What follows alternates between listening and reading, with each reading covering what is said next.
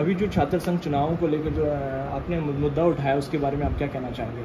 ज़ाहिर सी बात है कि छात्र संघ चुनाव होने चाहिए और हम तमाम लोग जो आज प्रदेश की सबसे बड़ी पंचायत का हिस्सा बने हैं तो ये छात्र संघ चुनाव और छात्र राजनीतिक माध्यम से बने हैं तो मैं चाहूँगा कि आने वाली युवा पीढ़ी को मुख्य धारा में लाने के लिए छात्र संघ चुनाव ज़रूरी है।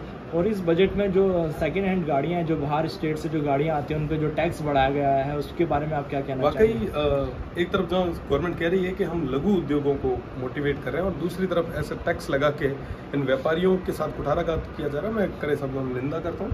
साथ ही आशा करता हूँ आने वाले समय में जब रिवाइज ये बजट आएगा उसके अंदर इन व्यापारियों को मदद मिले ऐसी आशा जो सीएम साहब ने जो पहले चुनाव के समय वादे किए थे आपकी विधानसभा उस तरफ़ लोकसभा सीटों पर तो वो वादे चुनाव में बजट में देखने को नहीं मिले उनके बारे में आप क्या अभी तक मिले नहीं है और आज मैं पूरी बात सरकार के सामने विधानसभा में।